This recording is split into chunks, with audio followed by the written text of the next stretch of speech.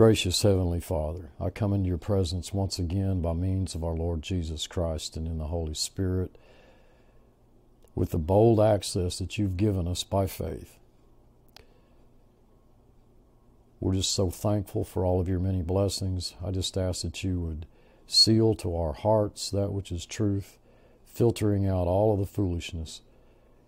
For it's in Christ's name I pray. Amen. Hi, this is Steve at blessedhopeforever.com. We have arrived to the in the year to the year 2021. so, if nothing else, we can say that, Lord willing, we uh, survived the year 2020. So, I just want to wish everyone out there a blessed, a happy new year. And uh, I just want to point out something that I find interesting that uh, many of you who follow this channel, you remember back in 2017, the spiritual New Year 5778, which was, there's a lot that could be said about 5778, the Hebrew year 5778. Uh, it began on September 21 of 2017. It was followed by the Revelation 12 sign a couple of days later but the spiritual new year began on, on the 21st of September of that year. To uh, January 21 of 2021, which uh, you know would be 1 2 1 uh, 2 1, an interesting uh, series of, of uh, uh, digits in and of itself we have no idea what's going to happen on January 21. Uh, I think it's impossible to say, you know, well, uh, things are just going to go kind of go along as as usual, as normal on on uh, right after the inauguration of uh, the uh, president-elect Joe Biden or uh, or Trump serving a second term, but nevertheless, the first day of, of the new president would be January 21. And that just happens to be 40 months exact, 40 months uh, from September 21, 5778, 2017. And 40 uh, is represented in Scripture as a period of trial and testing. So I just found that interesting. I want to pass that along. Now, in, in a recent video, I believe it was in my last video, or it may have been the one before it, uh, I, I, stated my belief that it didn't matter uh, because we were under grace and not law, and that we are redeemed solely because Jesus Christ died in our place, that it doesn't matter how we live. And I want to clarify what I meant by that because I don't want people misunderstanding me, and I, I think a few have. Folks, listen to me. God has nothing against you. Now, we know that the flesh profits nothing. And since the, the flesh profits nothing and your new creation is sinless, it cannot sin, the, the new nature is sinless. Okay? Uh, it's a point that most Christians miss because what we're dealing with there is we're dealing with the reality of, of our uh, lives as believers in Christ that we are no longer a single natured individual. We are a dual natured individual. We have two natures. The non believer has one, he can do nothing but sin. He's, he hasn't been made a new creation in Christ. But we, as new creations in Christ, we have received a new sinless nature we had to have, to have been made a dual natured creature because Christ came to live inside us and he cannot be tainted, he cannot be touched by sin. So we had to be, God had to create a sinless new creature, uh, creation, a new nature in which he could abide in us. Are you following what I'm saying here? Now, all of this is confirmed by Scripture. So the question arises shall we sin that grace may abound? God, God forbid, and everybody knows that verse. But many don't understand what that verse is saying. It is not saying God is more pleased with you when you do not sin because all the flesh does is sin. That's, that is why we are to reckon ourselves dead indeed unto sin, but alive unto God through Jesus Christ our Lord. You see the dual natures, the, the, the two natures in that statement dead to sin, but alive unto God through Jesus Christ our Lord. We function, we operated out, out of the new man, not the old. Okay? You are not gaining any merit with God by trying not to sin. That is a, a, a fictitious, okay? That is not the truth. You can't change the old man. You can't change something that is totally corrupt and God is which God has nothing to do with. Neither can you become any more righteous than what you already are in Christ. It, marvelous news, okay? You cannot improve upon the sinless new creation either. Okay? So, looking at the both of those, being that, that you cannot change the old man and, and you can't become any more righteous than what you already are in Christ because you've already been made the righteousness of God in Christ, the only thing that displeases God, which is seen repeatedly throughout the New Testament, uh, uh, even I will even say as go as far as to say even even in, in the Old Testament is our functioning outside that realm of faith where we function outside that realm of unmerited favor in our conduct, believing that there's some value in our cleaning up the old man, the flesh, which profits nothing. Folks, this book, Scripture, is not a self, I've said this before, it is not a self help book on how to become a better Christian, quote unquote. What it is, is a revelation of the person and the work of Jesus Christ and how that work, His work, has application to your life. The only reason that we don't desire to sin is because we have a sinless new, new nature which cannot sin. Okay? that hatred toward sin, that, that mindset, is itself a characteristic of the sinless new man. No matter how much your sin nature manifests itself, you could never, ever, ever, ever, ever out sin God's grace. Never. Okay? Therefore, it does not matter. It does not matter one bit how we as saints live as it regards our standing before God. Our standing. Okay? Please don't misunderstand me. It doesn't change or alter or affect our standing before God. Of course, it matters how we live as far as rewards are concerned. You know, whether we're going to bear fruit in our lives. But we also know that we that unless we've died to the law, we cannot bear fruit unto God.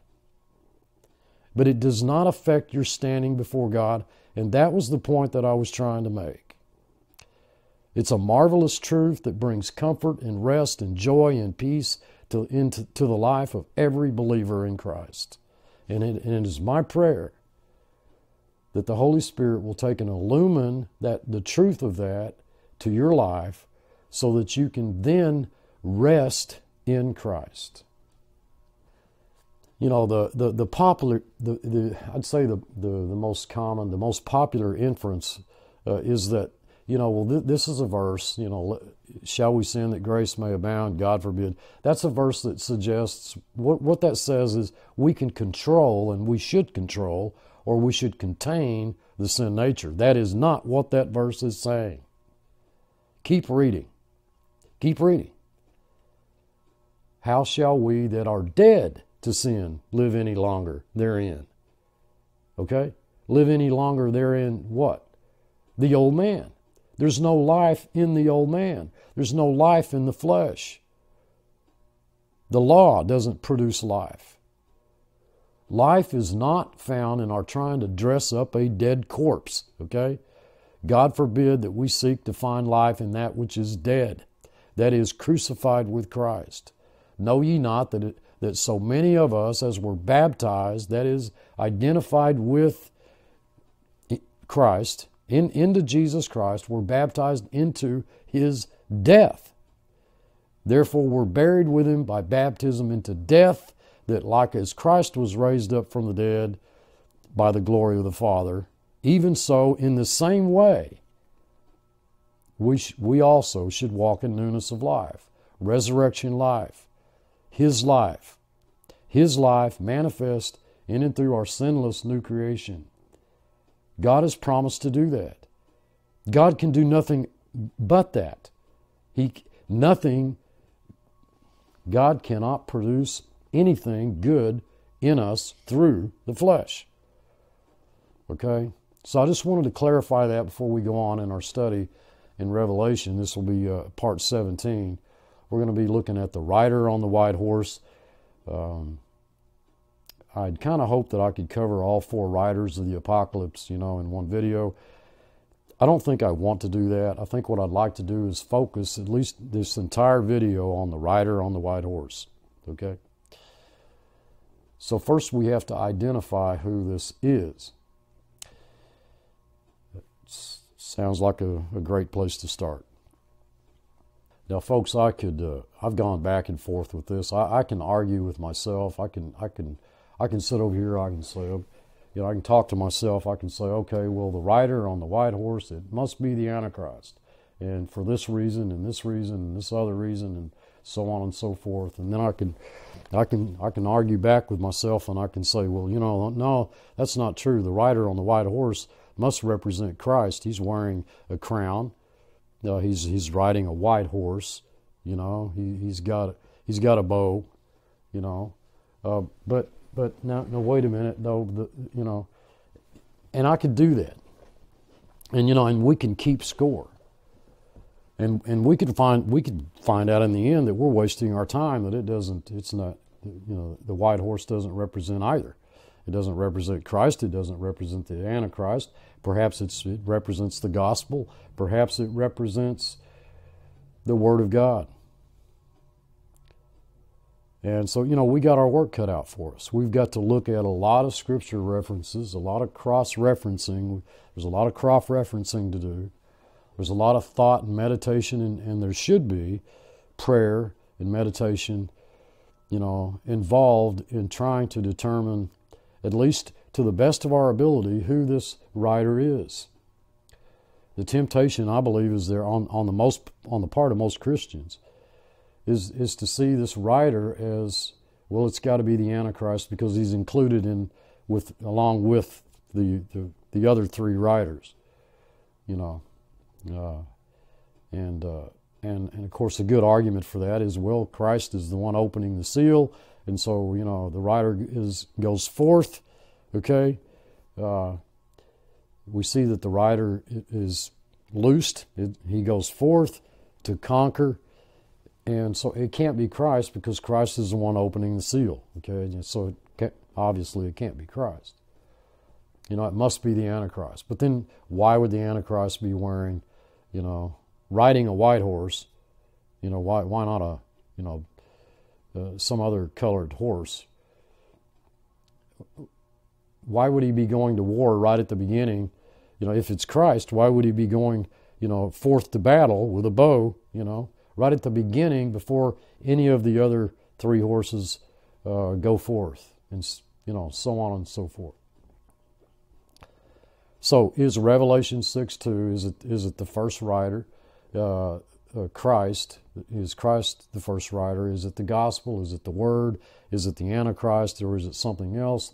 Uh, I believe, the, uh, from what I've looked at, there's there's been over at least 30 possibilities uh, presented as to who the identity of this first rider on the white horse is, and of course that would take uh, many videos to go through all that. Now, so I don't I'm I don't want to do that. I do want to take and look at, you know, the the. Uh, I just thought it would be a, a, a good idea to take and focus on the most the more common interpretations of this. So we're gonna uh, we're gonna start off here by with an argument for this being the Antichrist, not Christ.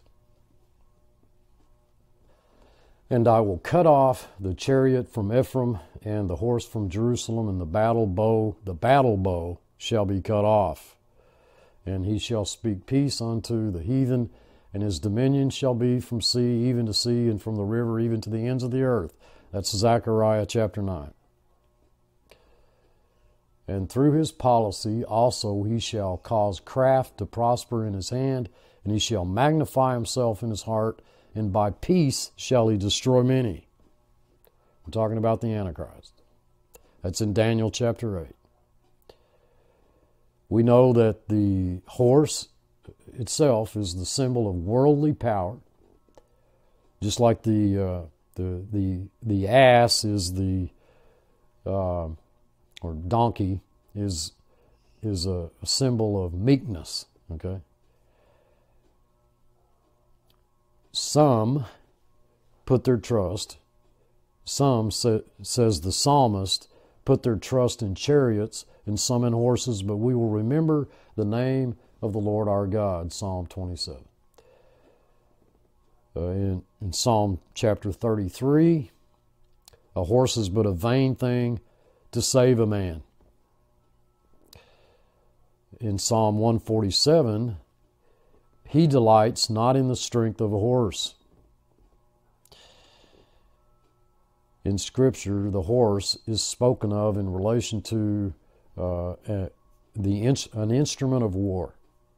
It represents the horse represents human might, conflict, battle, war which is either to be connected to the Lord or destroyed by Him. Micah, if we go over to Micah chapter 5, and it shall be in that day, says the Lord, that I will cut off your horses from your midst and destroy your chariots. And in Revelation chapter 13, and I stood upon the sand of the sea and saw a beast. And keep in mind, the Antichrist has many names, beast being one of them. Uh, in fact, the, the, the, the, term Antichrist is only used by John, you know, in, in First John, Second John, and saw beast. So he has many names. And this beast uh, rose up out of the sea, having seven heads and ten horns, and upon his horns ten crowns, and upon his heads the name of blasphemy. But this this is crowns that's that's crowns plural, okay? Not a single crown, which is what we're looking at in verse two here of chapter six, and and uh, not Stephanos, you know, a victor's crown. If the first rider here, folks, is the Antichrist, he's seen wearing a crown like just like same word, just like that we will cast before God's throne. Just, just same word as the 24 elders, which I believe represent the church, are casting before God's throne.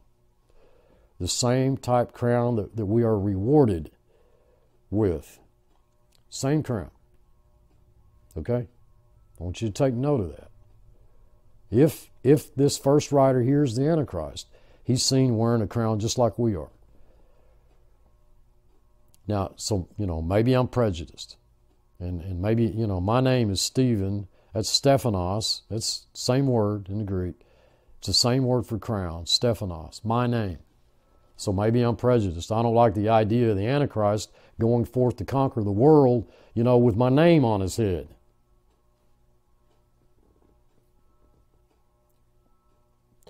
It's and I've always tried to caution myself, folks, from reading my emotions into this, reading my, my own prejudices into the text, uh, reading anything into the text. We want to be involved in exegesis, taking, bringing out of the text what's there, not reading our own feelings and ideas into the text.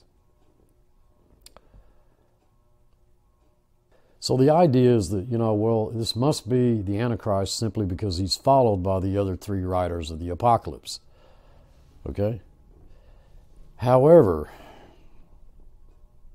however, I believe I can also make a, a, a basically sound, fairly sound argument uh, for this being Christ, not the Antichrist. I believe we are looking here at Christ as being the rider on the white horse if we look at certain factors, take certain factors into consideration.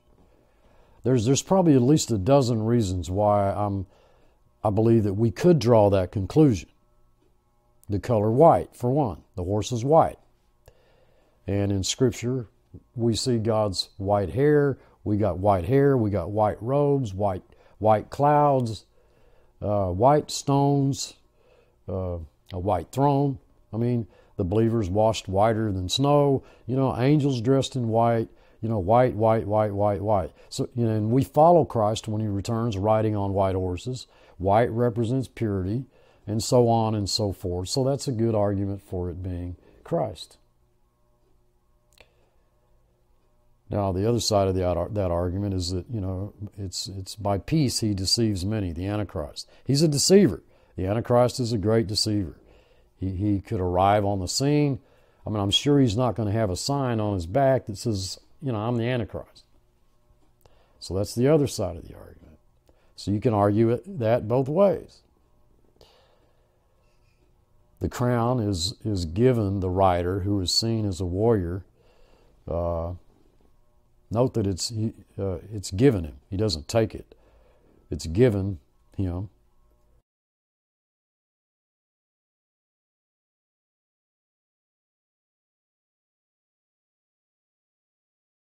And he's seen as a warrior because he already he al- he already goes forth as a conqueror, a victor. Therefore, uh, the, the the goal of his going forth has already been reached if, if you look at the rider as the Antichrist, the, the, the Antichrist is not ultimately victorious. Okay? He only hopes that he will be. He only hopes that he will win.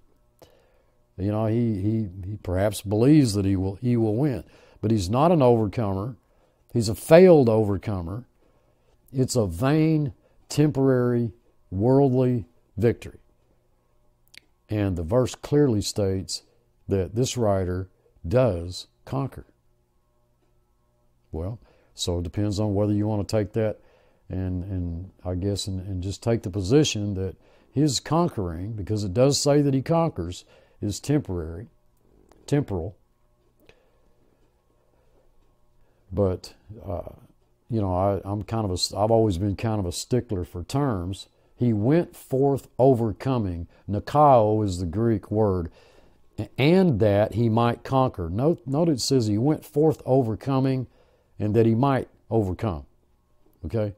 Which, in my opinion, can only be said of a power whose, whose victories are to, to last forever. It is the same word of the believer being an overcomer. Okay? Same word for you and I overcoming, same word for Christ being the overcomer, same word he went forth overcoming and that he might overcome. Okay?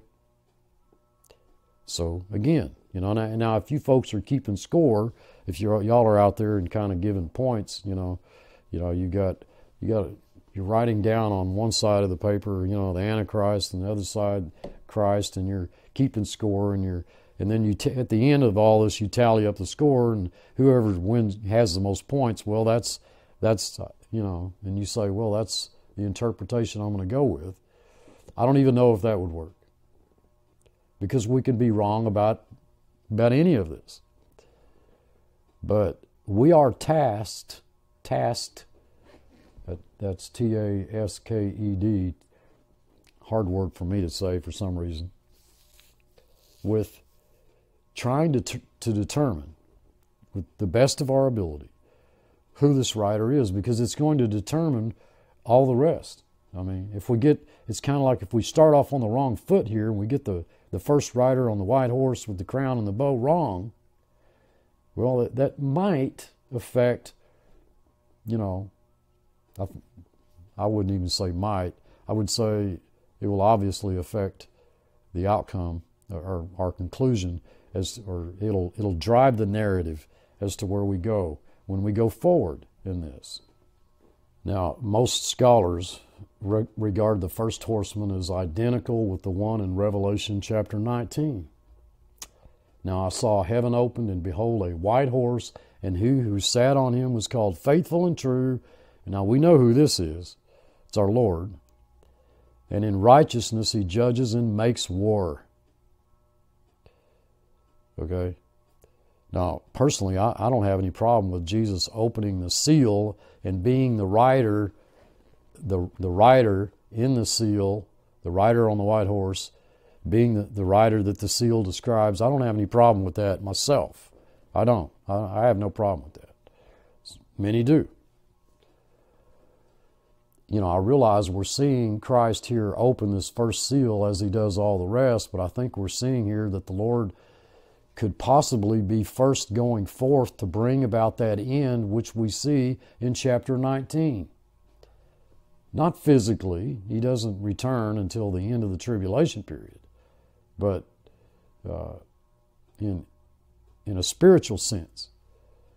So, since Christ reveals all of the visions which follow, I want to suggest that it just might be possible here. It's just something for you to think about that the first rider is our sovereign Lord Jesus Christ, that he's going forth to conquer, okay?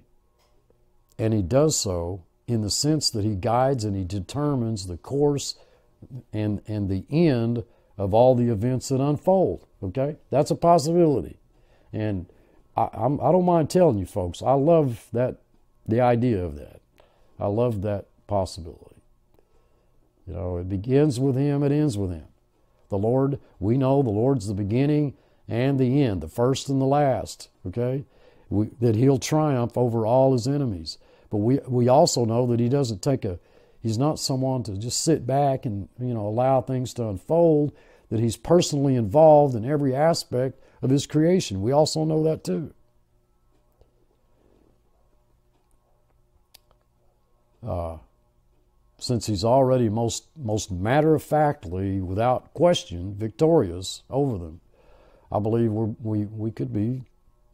It could be that we're being shown a picture of our our triumphant, victorious uh, Lord Jesus Christ right here at the beginning before anything else is shown. That's what I'm saying. So you know, it just it depends. There's it, there does seem to be a good argument on both sides. I have to admit that. I have to admit that. So I would suggest that it's possible that, that right here in, in verse 2 of chapter 6, that he, here he's working in bodily absence. Uh, the bow uh, is a weapon of, for, of distance, okay? Well, so you could you could look at it that way. Uh, the bow can indicate that the rider, the warrior, may be meeting his foes at a distance. Okay, if you want to, if you want to look at the first rider as Christ, the rider being representative of Christ, just as the other riders are representative of other things. They're, they're symbols, they're representations of of things. So a symbol of His power, His victorious power, His sovereign direction, His control over everything else that follows. You know, even if you wanted to take the rider as uh, as literal, you know, the objection that the lamb could not have been here opening the seals and be the rider himself, I, I, I don't know. To me, that argument falls flat, since Christ is is God, and, and God is omnipresent. Notice he doesn't have any arrows, just a bow. No quiver, no arrows. Uh, and I, what I find interesting and most interesting about that is we know that uh, without, it, it, just says a bow. Okay? Now, now maybe maybe uh, I don't know how to say this, the absence of any mention of arrows. Maybe that's, uh, uh, we can't draw any, uh, a, a, really strong conclusion from that and say that, well, just because there are no arrows, that uh, it must be Christ because uh, he, he doesn't go to war. He's not. He's just in control over everything, and, he, and he's he's not really at war with his enemies until he returns at the second coming, that, which we see in Revelation chapter 19. So.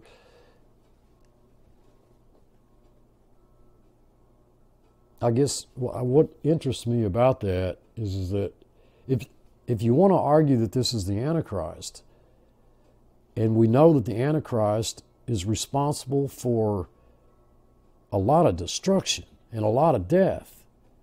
It seems kind of odd to me that the rider has a bow with no arrows. So that's something else you might want to think about.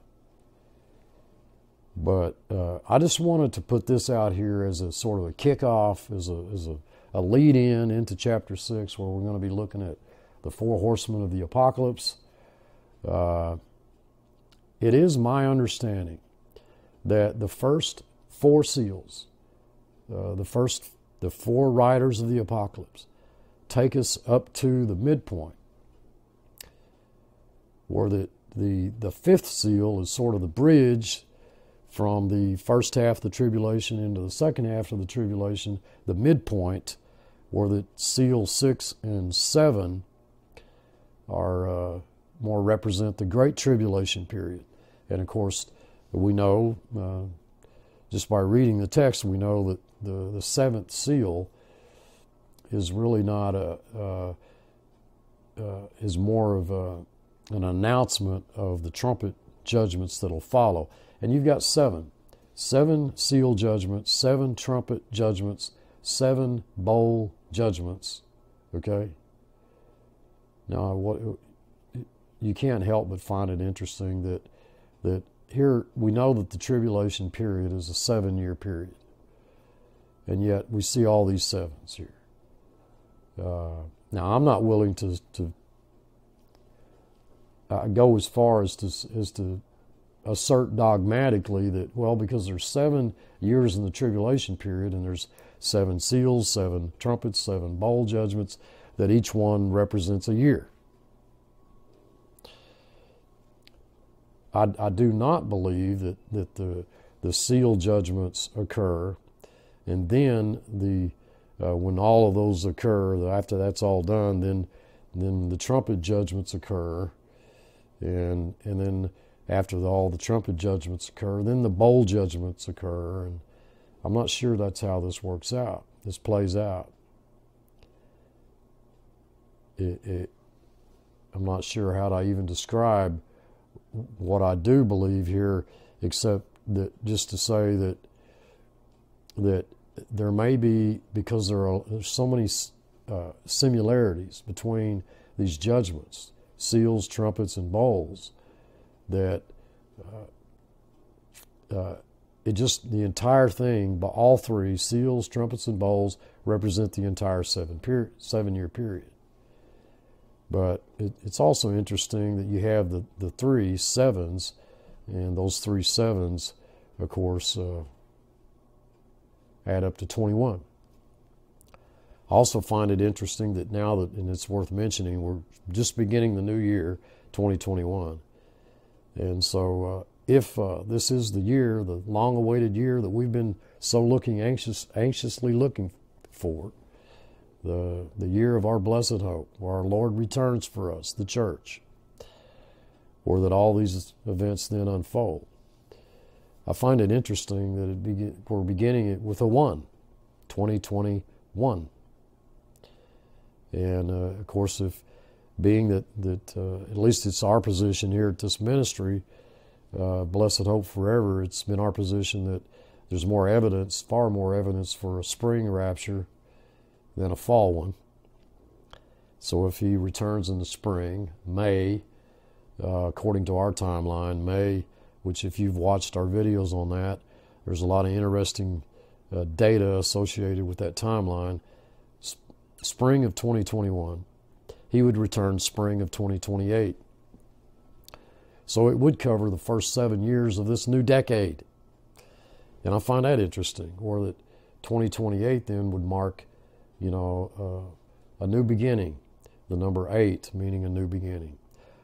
Well, look, I'm out of time. I just want to take a moment to tell you all that uh, is first of all, as it regards my own personal uh, medical issues and my health, uh, there are some problems.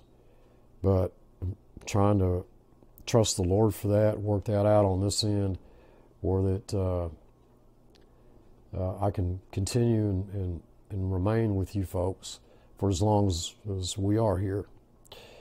Uh, there are some problems, and uh, it's not it's it's not, nothing. I don't want any of you worrying about anything at the at this point. There's nothing that I I can't say for certain. Uh, uh, be I can't be dogmatic about anything at this point. I just do know that that they are concerned about some issues, uh, and so there's going to be some more tests done that have to do with uh, uh, some things that are uh, other than uh, the, the, the injury, the horse wreck that I had recently, uh, that uh, may lead to uh, some more complications, more medications. I hope not surgeries, but you know, folks, I know there's many of you out there that are suffering and suffering greatly. I just I pray every day that you will find his peace through that, the peace that He gives, that you will trust Him in all things. He's promised never to leave you nor forsake you. He, he lights your path, He bottles your tears. Until next time, I want to thank you all for all of your continued support, your love, your prayers, your messages. Please follow us on MeWe if you should so feel led. This is Steve. Thanks for watching.